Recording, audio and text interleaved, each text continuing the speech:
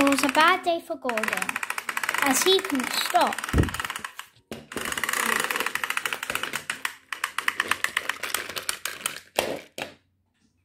Oh, the indignity.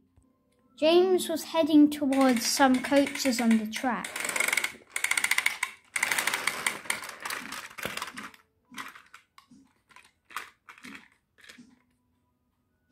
The Fat Controller's railway was turning into a mess, and it made people say what a bad railway it was.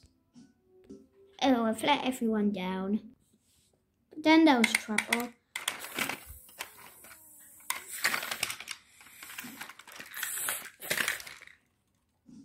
Everything was a mess. James banged right into a bumpy track. He landed back on the track with a thud. It made his tender get uncoupled from him, he was coming back round it, which was a problem.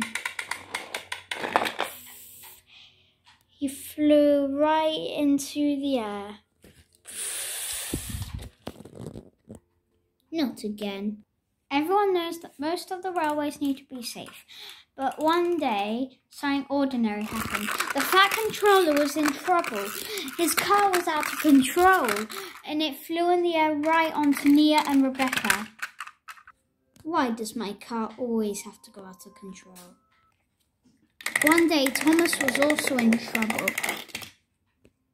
He ended up on the wrong track, and he bumped right into Percy they were competing in a world's strongest engine, and they kept heaving on each other. Cinders and ashes. But then Percy went too high and it knocked Thomas right off the track. Sorry, Thomas. That's okay. But then there was trouble.